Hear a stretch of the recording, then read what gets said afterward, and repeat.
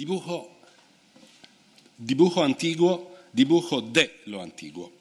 En la urdimbre temática de la serie de conferencias que hoy concluye, he utilizado el dibujo como hilo conductor en la fecunda relación entre los modelos de la antigüedad clásica y el arte europeo del siglo XV al XVII. He sugerido que la práctica del dibujo a partir de la escultura antigua, como la derecha, junto a los estudios de óptica y perspectiva, y también a la atenta lectura de textos clásicos como Plinio y Quintiliano, consintió que muchas generaciones de artistas utilizaran como modelo supremo la memoria de la pintura griega que todos reputaban aunque nadie la conociera, como escribe Julián Gallego. He sostenido que la práctica del dibujo de lo antiguo debe ser situada en un espectro muy amplio que incluye el dibujo, documental centrado en los estudios anticuarios, el dibujo de artista ejecutado por propia reflexión o memoria, la libre variación de lo antiguo y por último la reinvención radical siguiendo el espíritu del dibujo antiguo, es decir, sugiriendo el movimiento y la tercera dimensión mediante la línea funcional, como la de Perracio, o, y sutil, como la de Apeles en Leonardo. Es evidente. A través del dibujo se va fijando el nuevo estatus de las antigüedades en la cultura visual europea, como inagotable repertorio de motivos autorizados y eficaces, y también como poderosa seña de una elección cultural de un registro representativo alto. Esto sucede en la Sagrada Familia del Roble, un cuadro comenzado por Rafael y acabado por Giulio Romano. En esta pintura que Nesselat llamó la más arqueológica de Rafael, al fondo se alzan los imponentes restos del templo de la Minerva médica, mientras que San José se apoya meditabundo en unas ruinas, repitiendo el gesto de la musa Polimnia, conocido por estatuas y sarcófagos. Los mármoles en los que se acoda San José componen un pequeño catálogo de antigüedades entonces célebres, como un pedestal de candelabro de la colección Grimani, que también aparece dibujado en el Codex Escurialensis. Otra pieza famosa es una base de columna del templo, del templo de Marte Ultor en el foro romano, dibujada frecuentemente a lo largo del siglo XVI. La intención simbólica, usual desde la Edad Media, era mostrar, a través de la acumulación de ruinas, el triunfo del cristianismo sobre los dioses paganos. Pero la nobleza de las formas clásicas las rescata plenamente. Es más, las exalta como instrumento de legitimación para la escena de historia sagrada. Como ya hemos visto, el brazo de la muerte es una fórmula gestual muy común en el arte antiguo, en particular en los casos de Meleagro y de Héctor. También en el caso del cadáver de César. Mientras es trasladado en una litera, nos habla Suetonio de brachium dependens. Esta mención literaria demuestra que los antiguos tuvieron plena conciencia del valor convencional y expresivo del gesto, que asume el valor de topos figurativo o en el rico lenguaje de Warburg de pathos formel, fórmula de pathos. Presente ya en el arte medieval, esta fórmula se ve legitimada a principios del siglo XVI con el trato frecuente de los artistas con el arte antiguo. Relanzada por Rafael y retomada por numerosísimos artistas, entre los que se contan Caravaggio y Rubens, la fórmula es ampliamente utilizada tanto para la figura de Cristo como en escenas de la historia moderna, por ejemplo, en el Mará de David. En esta cadena iconográfica, caracterizada por el convencionalismo del gesto y por la longue durée de, de su utilización, es difícil distinguir los préstamos directos de la antigüedad, como Rafael, de los mediados por obras más recientes, como Caravaggio, que presupone a Rafael. En uno y otro caso, el trámite siempre es el dibujo, la fijación gráfica del gesto que se une a menudo de forma inextricable con la impalpable memoria visual del artista. La muerte de Séneca, de Manuel Domínguez Sánchez, es otro eslabón de la misma cadena iconográfica, con el brazo de la muerte. La escena de Séneca, narrada por Tácito, que se suicida por orden de Nerón cortándose las venas de las muñecas y de las piernas, está ambientada a la antigua, no sin algún anacronismo, como la vasija griega en primer plano. El uso del brachium dependens cobra aquí la doble función de repetir la fórmula usual y de señalar la dependencia de la tradición clásica. Nuevamente, el modelo antiguo no es sólo una fuente, sino un dispositivo de legitimación y una modalidad de representación según un registro estilístico alto. En su cuadro de Múnich, del que el Prado tiene una excelente réplica de taller, Rubens afronta el mismo asunto histórico, pero con una escenografía muy diferente. El filósofo, de pie dentro de una tina de cobre, no se corta las venas él mismo. Lo hace en su lugar la figura barbuda de su médico. A la izquierda destaca la figura de un joven que está escribiendo en un registro los última verba de Séneca. Se leen las letras vir, que podemos completar como virtus, valor civil. Este ejemplo de virtud estoica ilustra el pasaje de Tácito donde Séneca deja a sus amigos como testamento imaginem vitae sue, el ejemplo de su vida. Con todo, para desangrarse en una bañera llena de agua, como cuenta Tácito, la posición elegida por Rubens es verdaderamente incómoda. Pero incluso una postura tan poco plausible depende por completo de un modelo antiguo. Rubens había visto en Roma la impresionante estatua de un viejo pescador africano, entonces en la colección borghese y hoy al Louvre, de la que hizo inmediatamente varios dibujos, como el de Petersburgo. La estatua había sido interpretada como un Séneca muriente y dispuesta dentro de una vasija pintada de rojo intenso para imitar la sangre.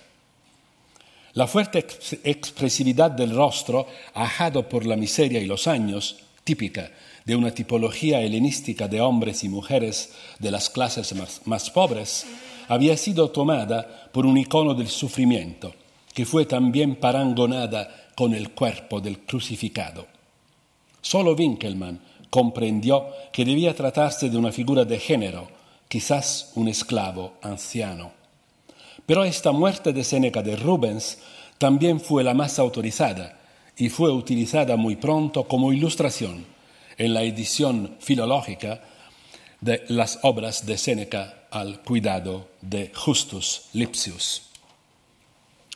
Rubens, sin embargo, modificó radicalmente la cabeza del pescador, sustituyéndola por un rostro noble y austero, digno de un filósofo estoico, que era una reinterpretación libre a partir de un busto que entonces se creía de Séneca, del que el mismo Rubens poseía una copia. La vemos en los cuatro filósofos a la derecha, donde Rubens se representa de izquierda a derecha, asimismo a su hermano Philip, que acababa de fallecer, al gran humanista Justus Lipsius, maestro de ambos, y a otro de sus discípulos. Los libros sobre la mesa aluden a su cultura anticuaria. La vista del Palatino, que se divisa por la ventana abierta, recuerda la poderosa presencia de Roma. El busto de Séneca en la hornacina, que tiene delante un jarrón con tulipanos como si fuera un santo, evoca su santificación en el neoestoicismo holandés.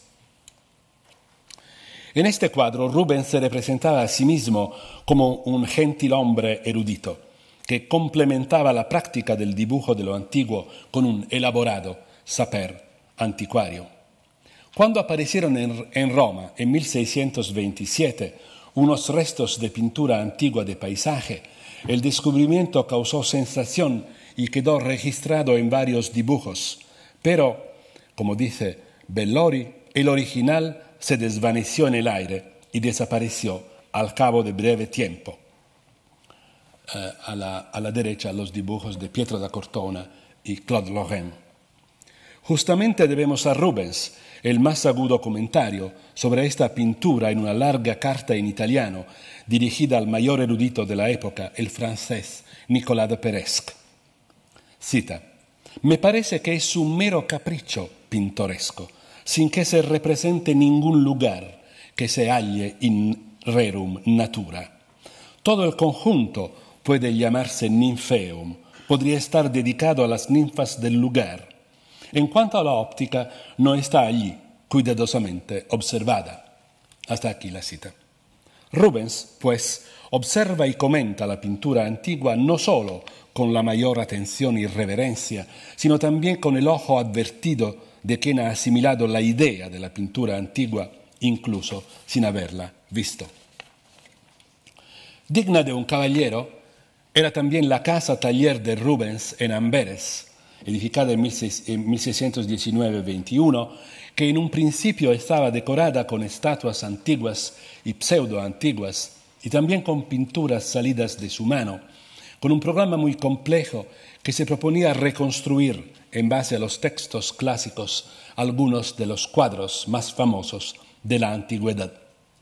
Este conjunto, por desgracia, no se ha conservado, aunque puede reconstruirse gracias a dos grabados, por suerte, bastante minuciosos. Las pinturas, las pinturas son aquí. Estos pueden completarse con varios dibujos del propio Rubens. Vemos así que el artista planteó un programa destinado a caracterizar su casa con el doble sello de su, de su erudición anticuaria y de su arte pictórico. En efecto, Rubens pintó como si fuera la gigantesca enseña de su taller una serie de escenas que se corresponden con otros tantos cuadros de grandes maestros griegos. Por ejemplo, la calumnia de Apeles, Alejandro con el rayo, también de Apeles, y Ifigenia, el sacrificio de Ifigenia de Timantes. Podemos comentar la decoración de la residencia de Rubens con una carta suya. Las antiguas pinturas se ofrecen únicamente a la, se ofrecen únicamente a la imaginación, escribe Rubens, como sueños, y solo las ofuscan las palabras. Por ello, cuando tratamos de abrazarlas tres veces, como hizo Orfeo con la imagen de Eurídice, escapan de nosotros y decepcionan nuestras esperanzas. Yo lo sé bien, pues a menudo he tratado de extraer algún cuadro de Apeles o de Timantes de las vivas descripciones de Plinio, aunque me parece que de estos textos solo he podido exprimir un poco de mosto y no buen vino. Hasta aquí la cita de Rubens. De los mismos años es también el cuadro del Prado con Aquiles descubierto por Ulises y Diomedes. La madre de Aquiles ha ocultado al héroe, disfrazado de mujer, entre las hijas de Licomedes, rey de Ciro, para impedir su marcha a la guerra de Troya. Pero la astucia de Ulises desenmascara al joven al que ofrece vestidos mezclados con armas, que Aquiles empuña inmediatamente revelando su naturaleza viril. Como cuenta Plinio, este tema fue tratado también por un pintor griego del siglo IV a.C., Athenion. Un reflejo de su pintura perdida podría hallarse en un fresco de Pompeya que Rubens naturalmente no pudo ver. Pero puede que él conociese un sarcófago con este mismo tema, dibujado a menudo entre los siglos XV y XVII. Así se explica no solo la inquieta gestualidad de Aquiles, sino también la prominencia concedida al escudo y una hija de Licomedes arrodillada aquí y aquí. Rubens ofreció el cuadro a Sir Dudley Charlton, embajador en La Haya de la corte de San Jaime. Un cuadro de un Aquiles vestido de mujer, hecho por mi mejor discípulo, fatto per il mio miglior discepolo, y todo retocado de mi mano cuadro hermosísimo y lleno de muchas bellas muchachas. Charlton rechazó la oferta justo porque el cuadro no era obra enteramente de Rubens, quien probablemente se lo regaló más tarde a Felipe IV. Pero el embajador se equivocaba, porque aquel a quien Rubens llamaba mi mejor discípulo era Van Dyck. Dedicaré el resto de mi conferencia de hoy a un intenso diálogo entre Rubens y Van Dyck en torno a uno de los más célebres y afortunados temas de historia antigua, diálogo que se desarrolla mediante el dibujo. Pruebas de artista y pinturas de uno y otro maestro pueden trazar las líneas de una profunda discusión entre los dos pintores que se desarrolla a lo largo de los años. Cuando Rubens definía a Van Dyck como mi mejor discípulo, el maestro tenía 41 años y el discípulo 19. Al entrar en el taller de Rubens en Amberes, el joven Van Dyck empezó pintando de forma muy similar a su maestro, pero luego fue elaborando un estilo muy personal. Sin embargo, aún sigue siendo alto el número de cuadros y dibujos que se atribuyen ahora a uno, ahora a otro maestro, especialmente antes de la experiencia italiana de Van Dyck, 1621-27. Los dos dibujos que vemos ahora en la pantalla representan dos etapas en un diálogo de Rubens y Van Dyck, que tuvo como fondo un asunto de historia antigua, la continencia de Escipión. Rubens y Van Dyck.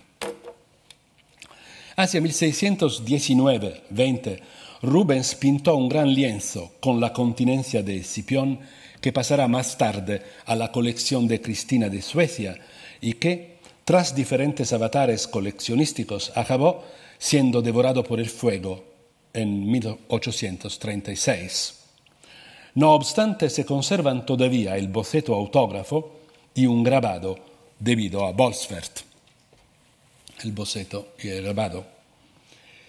La continencia de Escipión fue, a partir del 400 italiano, uno de los ejemplos más frecuentados de esa magnanimidad de los antiguos héroes que en el horizonte de la historia romana encontraba su propio teatro ideal.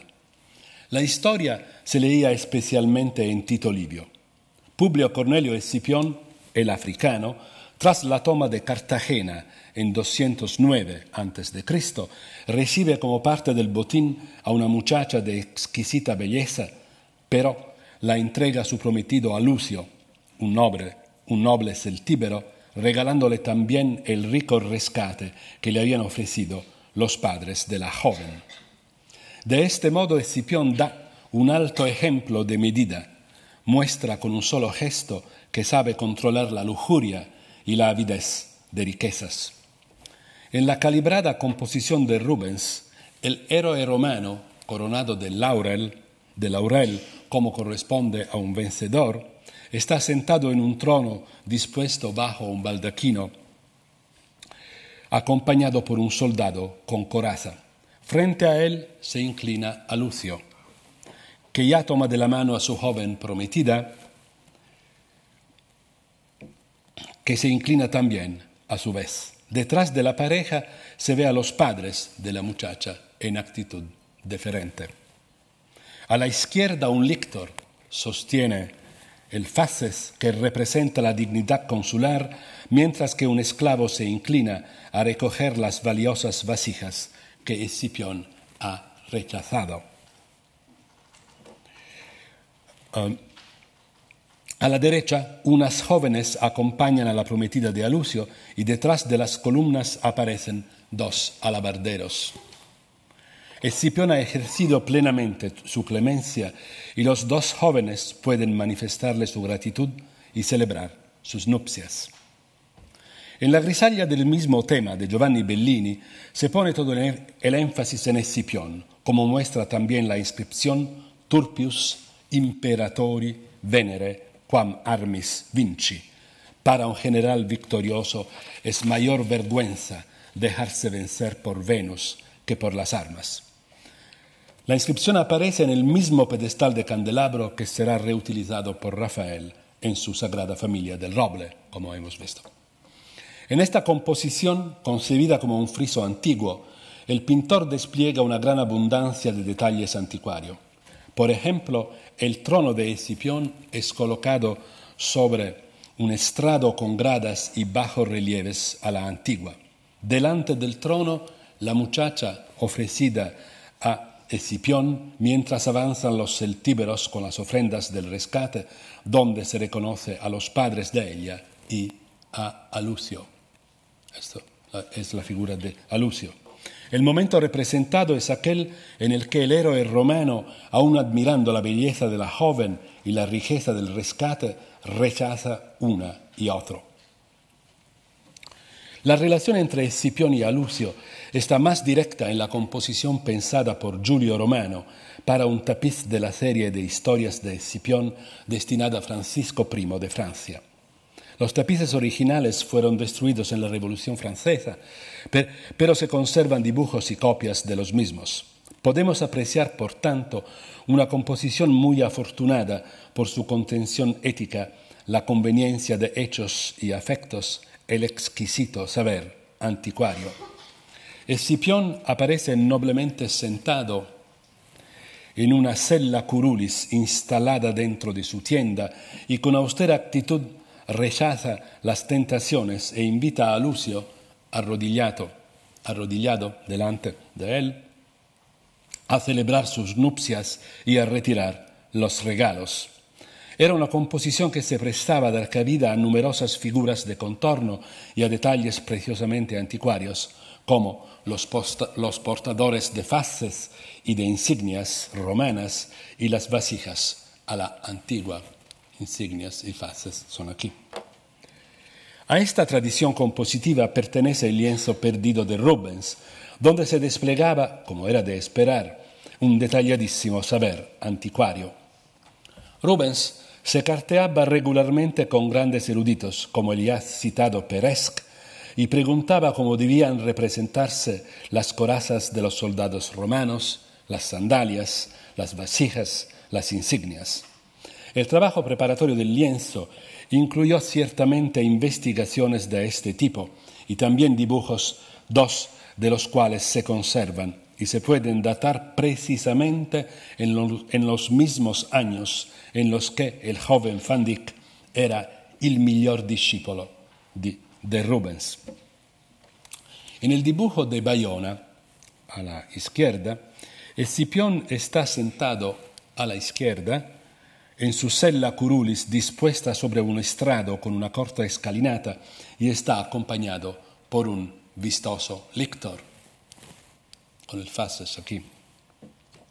Alucio planta el pie en el estrado y se dirige al caudillo romano llevando de la mano a su prometida.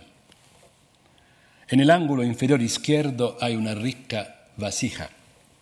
Al fondo se esboza un edificio. Entre Alucio y la joven aparecen las cabezas de los padres de ella, con dos doncellas que los acompañan. En el dibujo de Berlín, Rubens invierte el sentido de la composición y modifica su formato desarrollándolo a lo ancho. Escipión está sentado en su celda, pero a la derecha en un estrado bastante más bajo, al pie del cual vemos una vasija, mientras que en lugar del fondo arquitectónico se ven unas colgaduras. Las posturas de Alucio y su prometida se invierten. La muchacha se arrodilla delante de Escipión, su prometido la lleva de la mano y hace una reverencia cortesana. Los padres se unen al agradecimiento inclinándose entre la hija y los acólitos del caudillo romano, uno de los cuales es el lictor. Aparecen otras figuras, en particular tres doncellas. La composición final vuelve a la disposición del dibujo de Bayona, pero reutiliza rasgos del de Berlín y vuelve a proponer un formato más ancho. Escipión y el alto estrado están copiados literalmente del dibujo de Bayona, mientras que la única vasija presente en ambos dibujos ha generado ahora otras varias, así como la figura del criado inclinado para retirar una de ellas. El lector se ha desplazado hacia el portador de las vasijas y se apoya ostentosamente en sus faces. El fondo incluye columnas y colgaduras, como en los dos dibujos. Alucio, visto de espaldas, y la muchacha tienen una postura que, caracterizaba ambos dibujos. Alucio sube al estrado, como en el de Bayona, pero hace también una reverencia, como en el de Berlín. Su prometida le sigue a un paso de distancia, como en Bayona, pero dobla la rodilla, como en Berlín. Los padres aparecen casi de cuerpo entero, como en Berlín, pero colocados entre los prometidos, como en Bayona. Para Rubens, y aún más para Van Dyck, invertir el sentido de la composición y de la, y de la lectura fue un poderoso artificio experimental para replantear también radicalmente el tema el momento narrativo elegido, la relación compositiva entre las figuras o, lo que es lo mismo, las modalidades de la pintura de historia, de la cual había hablado León Battista Alberti. Como hemos visto. Van Dyck tuvo que conocer estas composiciones de Rubens, como prueban tres dibujos suyos que podrían fecharse hacia 1627-28 cuando el joven pintor, que a la sazón contaba 28 años, tras abandonar el taller de Rubens y pasar unos años en Italia, regresó a Amberes, donde permaneció casi cinco años más. En este tiempo tuvo que recibir la encomienda de una continencia de Escipión, a la que pertenecen el recto y el verso de un dibujo perdido, antes en Bremen, y un folio en París. Estos dibujos presuponen sin duda los de Rubens para el mismo tema, los dos que hemos visto y quizás otros hoy perdidos, pero también su composición final. En el recto del dibujo de Bremen vemos una composición que mezcla libremente rasgos de los dibujos de Rubens y de su cuadro, pero introduce una variante significativa. Escipión, acompañado también aquí por un lector, con el faces, está colocado a la izquierda, mientras que Alucio ha dado un paso atrás. Eso es Alucio con la novia. Un paso atrás y el esclavo que traslada la vasija se ha desplazado desde el ángulo izquierdo hacia el derecho y detrás de él aparecen los soldados armados. De los progenitores de la muchacha, el padre aparece esbozado aquí, detrás de Alucio, y la madre podría ser una de las otras figuras. No es muy claro. Se añaden aquí un lebrel, un lebrel por primera vez, y la figura completamente nueva de un maduro guerrero barbudo con coraza al que corresponde la misión de presentar la joven con un gesto enfático a Escipión al tiempo que a Lucio la rosa con la mano. Es una, figura nueva que no aparecía en los modelos de Rubens.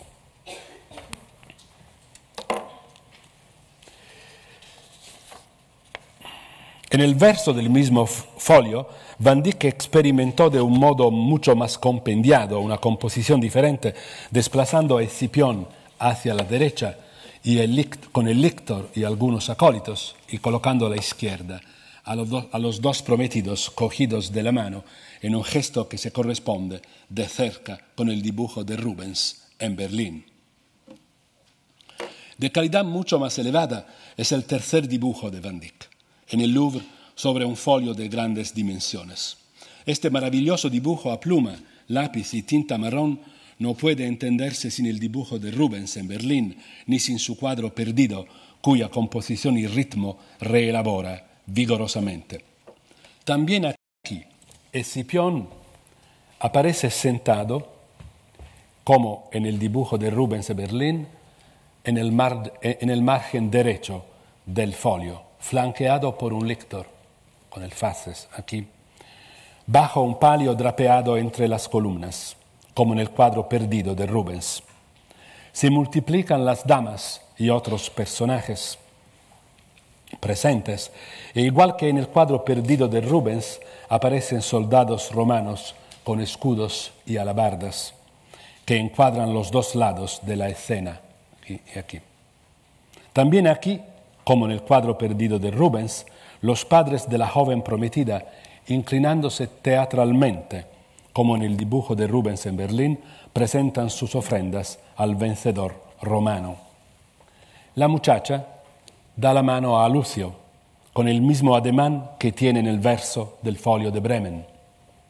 Sigue siendo idéntico el gesto de Alucio, que toma con la diestra la mano de su prometida. El grado de acabado de este dibujo lo identifica como una prueba avanzada, pero no final, para una composición sobre lienzo.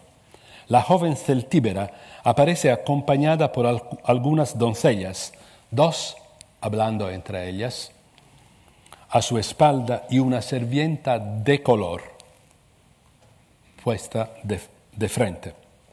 Aún más estudiado es el teatro de los afectos. Por ejemplo, los padres de la muchacha no solo se inclinan ante el conquistador romano, sino que se dirigen a él con gestos de gran elocuencia patética. Escipión está sentado con una especie de majestuosa naturalidad y girando apenas la cabeza hacia un lado en actitud de denegar algo, hace un ligero ademán hasta la vasija del rescate. Varios momentos de la historia confluyen en una misma escena, orquestados por el gesto soberano de Escipión. La madre que ofrece el rescate implora aún la libertad de su hija, pero a Lucio la toma ya de la mano como su esposa. De este dibujo depende directamente una muy notable continencia de Escipión, poco conocida hasta ahora por pertenecer a una colección particular. Se trata de un gran lienzo que Wagen registró en 1857 en las colecciones del conde de Harrington en Inglaterra, donde aparecía con el nombre de Van Dyck y estaba colgado entre otros dos cuadros del mismo pintor, los retratos de Carlos I y Enriqueta María. Wagen prefirió atribuir nuestro cuadro dubitativamente a otro pintor de Amberes, Theodor Boyermans, mientras que Ludwig Burkhardt volvió a atribuirlo a Van Dyck, como harían más tarde Meyer y Tempestini.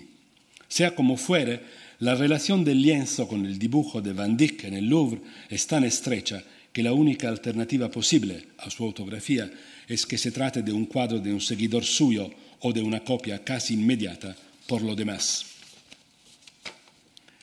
También en el lienzo vemos que la composición se ha organizado poniendo Escipión a la derecha, como en el dibujo, bajo unas colgaduras similares y con un, eh, eh, y, con un ademán casi idéntico y también aquí junto a un lictor con el faces.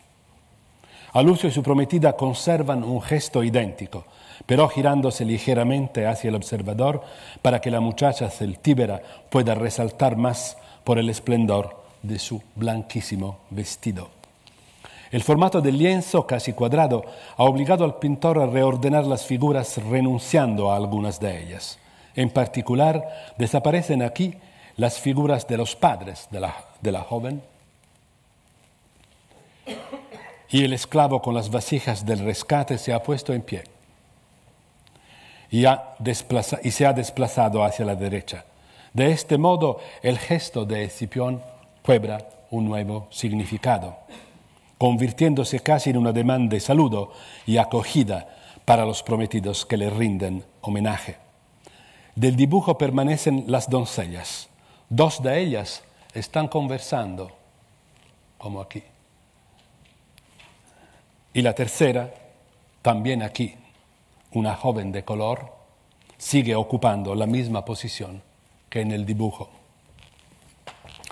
Este lienzo posee una gran calidad, con una composición sabia y equilibrada, donde la elegancia cortés de las posturas se aúna con la riqueza de la materia pictórica, el cuidado del detalle anticuario, la densidad de las sombras casi nocturnas, que dan singular relieve a la blancura de la carnación y del vestido de la prometida, a los mantos purpúreos del romano y del celtíbero, al brillo de las vasijas dispuestas en el suelo, al tostado hombro del esclavo que se inclina sobre las vasijas refulgentes. La composición gravita en torno a los tres personajes principales, el noble Escipión y el noble Alucio, caracterizados los dos por un rico manto de púrpura y entre ambos la doncella, con la mirada baja, como corresponde a una pudica, a una pudica novia, occhi bassi, como se decía en italiano.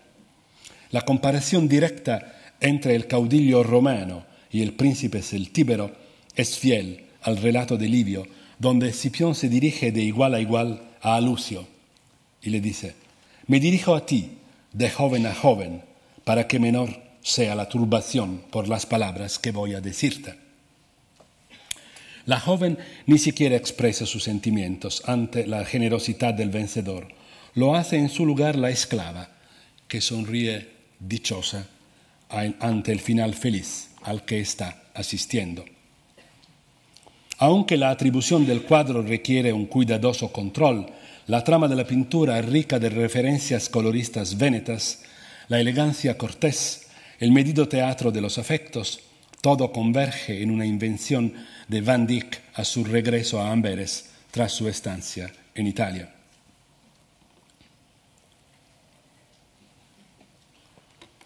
Respecto a la serie de dibujos de Rubens y Van Dyck que hemos visto, es aún más compleja la interpretación de otro lienzo, mucho más famoso por diferentes motivos. Porque pertenece a una célebre colección, la del, del, Christchurch College de Oxford, porque suele atribuirse a Van Dyck, porque suele identificarse con una pintura que pertenecía al duque de Buckingham, que ocupa el número uno en el inventario de sus pinturas redactado en 1635. Van Dyck, One Great Piece Being Scipio.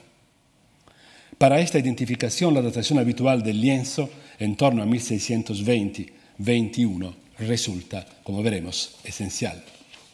Además, esta pintura de Van Dyck, según Matías Díaz Padrón, estuvo mucho tiempo en Madrid, en el Alcázar.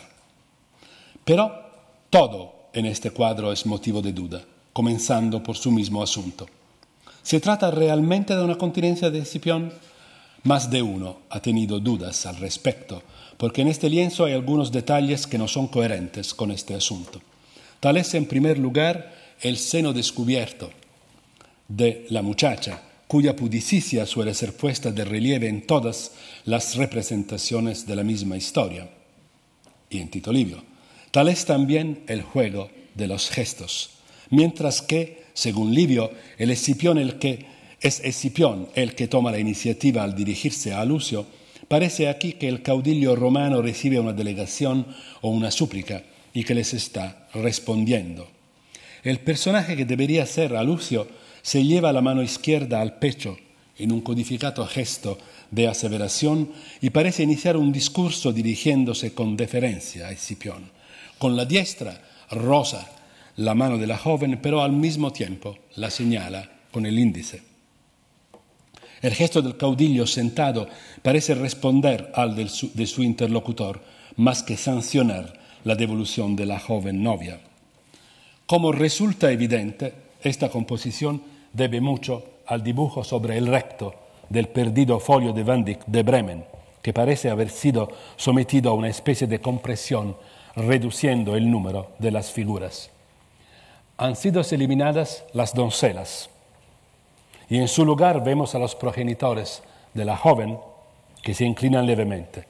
Lo que es aún más importante, ha desaparecido la figura de Alucio. Es aquí y no en el lienzo. Figura de Alucio que veíamos en el dibujo. Sin embargo, se conserva en el lienzo la figura más nueva del dibujo de Bremen, la del mediador que señala a la muchacha y que parece ofrecerla o presentarla a Escipión al tiempo que roza la mano de la joven, por lo que habitualmente esa figura es interpretada como Alucio, pero en el dibujo esta era la figura de Alucio y esta era una figura añadida, la del mediador. Su actitud, la actitud, la, actitud del mediador, no parece adecuarse a la del novio, sino a la del que ofrece la mano de la joven al caudillo romano, que se muestra benévolo, pero reacio. Según Tempestini, el cuadro podría representar por consiguiente no la continencia de Escipión, sino otra escena y otra historia diferentes, por ejemplo, Estátira, hija de Darío, ofrecida como esposa Alejandro Magno. Algún detalle del cuadro de Oxford juega a favor de una interpretación más griega que romana de la historia representada, comenzando por el hecho de que falta en el lienzo de Oxford cualquier seña explícita de romanidad. No hay ni lictores, ni faces, ni insignias de las legiones presentes por contras en todos los demás casos que hemos visto. Pero antes de entrar en estos detalles es necesario evocar la historia exterior del cuadro, cuya primera documentación segura es un grabado de 1766 que, ya lleva la atribución a Van Dyck y la identificación del tema como continencia de Escipión. El cuadro era entonces propiedad del duque de Argyle y, por un legado de la misma familia, acabó entrando en 1809 en el Christchurch. Es importante observar que el cuadro era en origen sensiblemente mayor, como demuestran el grabado y las fotografías anteriores al, al, anteriores al, al 1900 a 1949. En efecto, durante una restauración de 1949, las dimensiones del cuadro se vieron reducidas por arriba y por los lados sin que se haya publicado nunca una justificación ante semejante medida. Las dimensiones originales del cuadro quedan confirmadas por su única copia conocida que se subastó en Sotheby's en 2002 y que pertenece a una colección particular de Madrid. La composición original era mucho más equilibrada y estaba centrada en el juego de los gestos de los protagonistas, colocados en el centro del lienzo. Esta copia tan interesante ha sido atribuida a Jan Buckhurst, un pintor que trabajó en estrecho contacto con Rubens en torno a 1635 y es casi contemporánea del cuadro y las medidas como son, son, como el, uh, las medidas del, grabado y de, las, fotografías anteriores a, mil, a, a 1949. Observamos algunas significativas diferencias respecto del cuadro de Oxford, en particular el rostro del personaje que roza la mano de la joven está sensiblemente rejuvenecido, quizás para hacerlo más plausible como prometido de la joven princesa celtíbera. Aunque el asunto del cuadro de Oxford no resulta del todo claro, algunos detalles parecen virar la escena hacia un episodio de historia griega, o mejor, greco-oriental, más que romana. Tal es quizás el elefante que lucha con un dragón, eh, adorno de la alfombra que pisa la joven, recordamos algunas cartas de Rubens de 1600, 1628 acerca de la exacta representación del elefante según los antiguos. Otra seña en dirección greco-oriental son las columnas entorchadas con pámpanos que se ven al fondo. Son las denominadas columnas salomónicas porque durante mucho tiempo se pensó que su ejemplo más antiguo e ilustre en San Pedro de Roma procedía del templo de Salomón.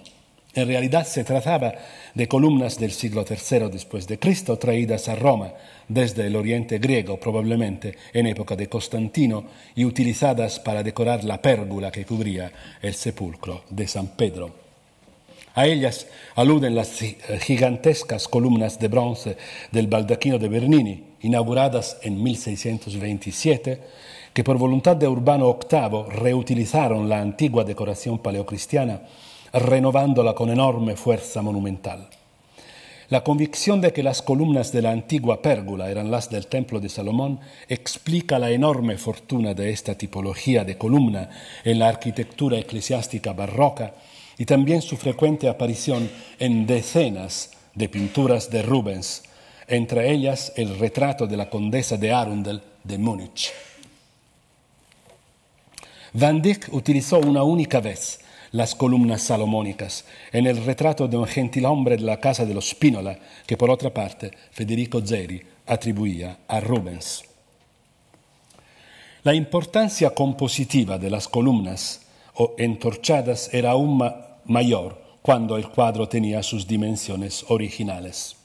Si el caudillo romano del cuadro de Oxford es, si el, el caudillo del cuadro de Oxford no es romano, pero es Alejandro, las citas de Jerusalén, las columnas salomónicas, y de África, o quizás de India, el elefante, deben entenderse como otras tantas alusiones a la monarquía universal del joven rey macedonio. Las citas, el elefante y las columnas, eh, el elefante y las columnas eh, salomónicas son eliminadas, fueron eliminadas de la copia de la copia antigua. En ese mismo sentido vale un detalle muy importante, el vistoso friso antiguo con dos cabezas de gorgonas que figura en el ángulo inferior izquierdo, en las copias también. No es un friso cualquiera, cualquiera. Es más, este coincide puntualmente con un gran friso marmóreo que apareció en Londres en 1972 durante excavaciones ocasionales para la construcción de un hotel en el Strand de Londres. Se trata de un, friso, de un friso arquitectónico del siglo II después de Cristo que procede indudablemente de Asia Menor. Este descubrimiento arqueológico verdaderamente improbable, un friso de Asia Menor en excavaciones en Londres, no puede ser relacionado con la ciudad romana de Londinium, un pequeño centro habitado donde no hubo jamás esculturas notables de tal dimensión e importancia y por añadidura procedentes del oriente greco-romano. La explicación es otra. El hallazgo del friso con cabezas de gorgonas es un singular episodio de arqueología del coleccionismo. El lugar del descubrimiento coincide precisamente con la residencia de Thomas Howard, conde de Arundel y gran coleccionista de antigüedades. La pareja de retratos de Daniel Mettens lo muestra delante de su célebre galería de esculturas, mientras que su esposa posa delante de la galería de pinturas. Ninguna colección de antigüedades de Inglaterra de la época podía rivalizar con Arundel House, que incluía 160 estatuas y bustos y 250 inscripciones y que para las modalidades expositivas se inspiraba en los modelos que Lord Arundel había visto en sus viajes por Italia. Tras el fallecimiento de, eh, de Arundel en 1646 en Padua, su hijo donó muchos de sus mármoles a la Universidad de Oxford, donde aún se conservan en el Ashmolean Museum. Pero los descendientes de Lord Arundel perdieron muy pronto el interés por las antigüedades y se deshicieron de lo que quedaba, vendiendo o arrojando a la basura estatuas y relieves. Muestro aquí dos casos emblemáticos. A la izquierda, el relieve metrológico que procede de Asia Menor y que pertenece al Ashmolean Museum. A la derecha vemos, por el contrario, una imponente figura del altar de Pérgamo, que había quedado emparedada en una casa cualquiera de una localidad de Nottinghamshire y que solo ha sido identificada en 1962. En el Pergamon Museum de Berlín fue colocado un vaciado en yeso de la misma. El friso de las gorgonas, representado en el cuadro de Oxford y reencontrado en 1972, pertenecía sin duda alguna a la colección Arundel. Lo testimonia una nota de Inigo Jones, fechada en 1630, según la cual la cornisa procede de Esmirna y formó parte del templo de Palas. Por otra parte, el Large Talman Album del Ashmolean Museum, que fue propiedad del mismo Inigo Jones, contiene tres dibujos de mármoles de Arundel House, entre ellos uno de John Webb, eh, fechado en 1639 con la inscripción Ex marmoreo antico arundeliano, dibujo tomado de un friso marmóreo de Arundel. La procedencia de Esmirna, de Esmirna hace de este relieve otra seña greco-oriental en el lienzo de Oxford que se une a las columnas salomónicas y al elefante de la alfombra y podría contribuir a caracterizar la escena del cuadro como una escena de historia griega, quizás relacionada con Alejandro Magno. La procedencia del friso de Asia Menor rarísima en la Europa del siglo XVII y aún más infrecuente en Inglaterra, no es solo una curiosidad erudita, ya que puede tener consecuencias importantes tanto sobre el tema como sobre la fecha y la atribución del cuadro. Como hemos recordado ya, el cuadro de Oxford suele fecharse hacia 1620-21. En la carrera de Van Dyck la pintura de marcada impronta rubensiana se situaría a finales del primer periodo de Amberes, antes del viaje a Italia, o bien en su primer viaje de Inglaterra, es decir, entre octubre de, de 1620 y febrero de 1621. Pero una investigación sobre la fecha de llegada a Londres del relieve de las Gorgonas prueba que esta datación es absolutamente imposible. Lord Arundel no se conformaba con comprar mármoles antiguos en Italia. Es más, prestó una atención muy precoz a los mármoles de procedencia griega y griego oriental. Ya en 1622 solicitó al embajador inglés ante la sublime puerta, Sir Thomas Roe, que le procurase algunos, aunque sin ningún resultado, porque el embajador también había sido requerido por el gran rival de Arundel, el duque de Buckingham, para que le proporcionara antigüedades. Una rivalidad política y también religiosa, la familia de los duques de Norfolk, a la que pertenecía Arundel, era y sigue siendo de observancia católica y justamente por ello se vio desposecida del título ducal durante varias generaciones, pero también una competición entre coleccionistas. Pero Arundel se mostró más decidido y envió a Asia Menor a su capellán, William Petty, que por su cuenta ya había adquirido antigüedades en Italia. Sir Thomas Roe, cansado de las insistencias de Arundel y de Buckingham, propuso que las piezas reunidas por Petty fueran repartidas entre ambos coleccionistas. Pero Lord Arundel respondió secamente que no. En materia de antigüedades, estoy seguro de que hay una infinidad de ellas que pueden ser puestas al servicio de Inglaterra. Por lo tanto, estoy decidido a que el señor Petty busque solamente para mí ya que sabe lo que más me conviene. Y en otra carta, Petty dirige la búsqueda y adquisición de obras para esta casa de Arundel únicamente, que no pienso dividir, sino mantener en su integridad. Cada vez más, cada vez más eh, agobiado, el embajador prometió a Buckingham que le buscaría un hombre muy instruido, que fuera tan experto y trabajador como Petty. Pero Buckingham tuvo peor suerte que Arundel. Su agente, que Roy le había encontrado por fin, habiendo descubierto mucho, pero cosechado poco, murió en Patras repentinamente. Los pocos mármoles que éste había reunido fueron enviados a Londres en junio de 1628, dos meses antes del asesinato del duque de Buckingham, y probablemente no llegaron jamás a su casa. Entretanto, Petty había llegado a Constantinopla en enero de 1625 y en los años sucesivos se movió entre Pérgamo, Samos, Éfeso, Esmirna y Atenas. Por una carta de Roe a Buckingham, sabemos que al final de su misión Petty había logrado reunir 200 piezas. La imponente expedición que zarpó del puerto de Esmirna llegó a Arundel House, sabemos el día preciso, el 6 de enero de 1627.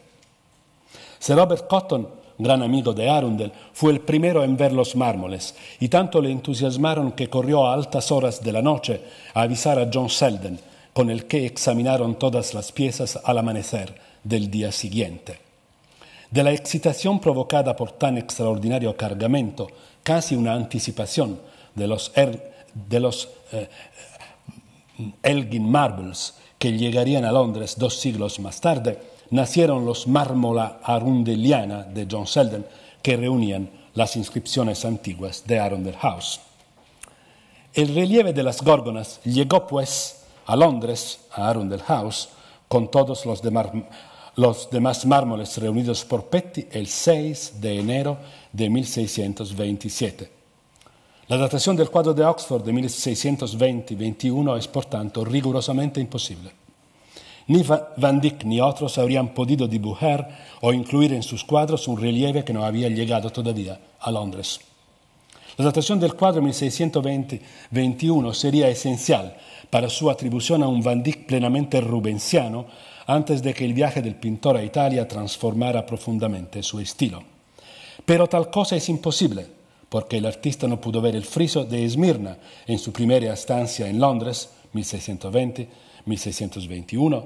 Por otra parte, si lo hubiese visto y pintado a su regreso a Inglaterra, 1632, el cuadro no podría ser en ningún caso el de Buckingham, dado que el duque había fallecido en 1628.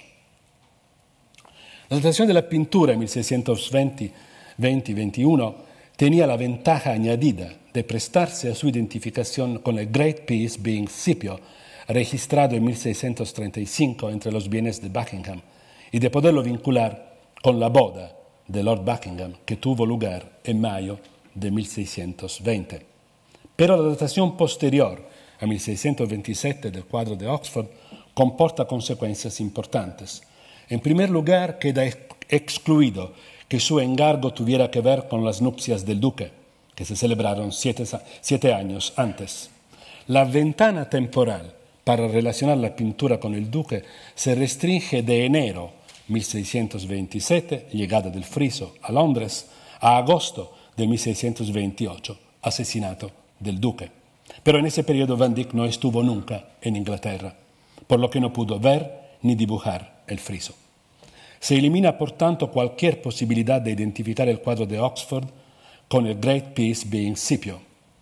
El único pago de Buckingham a Van Dyck a través de Sir Endymion Porter, retratado en un cuadro del Prado, que es un pago de 1621, se refiere probablemente al cuadro de Venus y Adonis, donde todos han reconocido los retratos de, de Buckingham y de su esposa.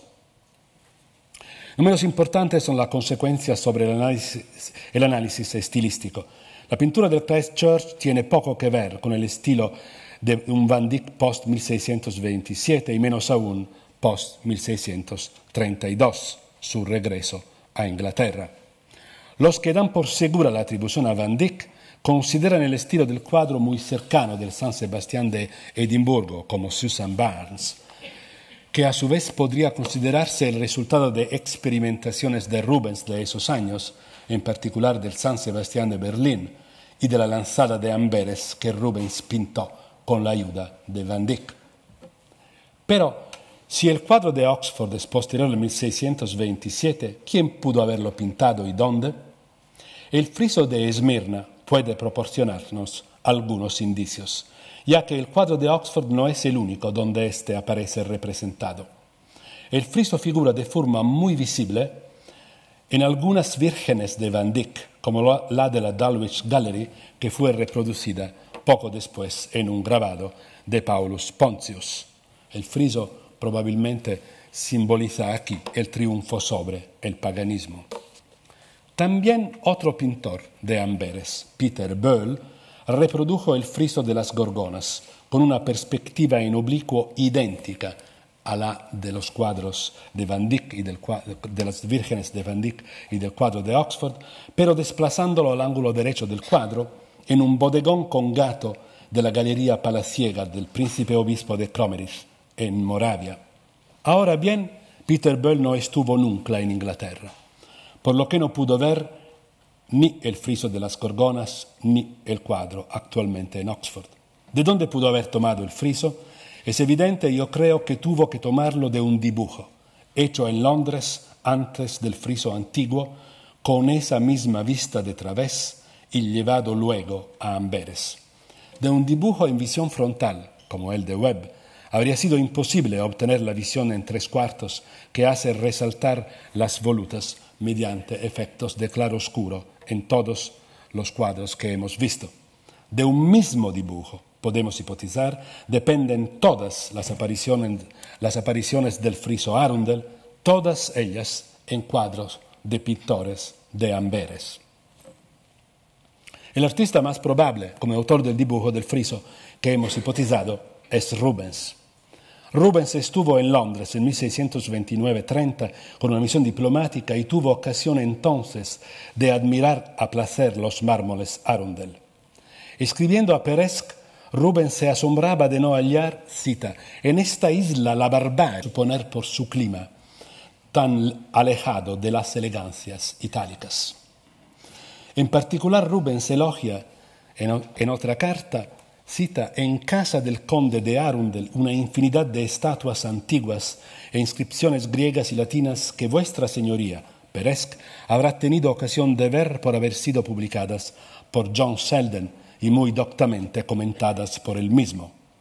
Justamente gracias a estos mármora arundeliana, escribe Rubens, Inglaterra es ahora un teatro digno de la curiosidad de todo caballero.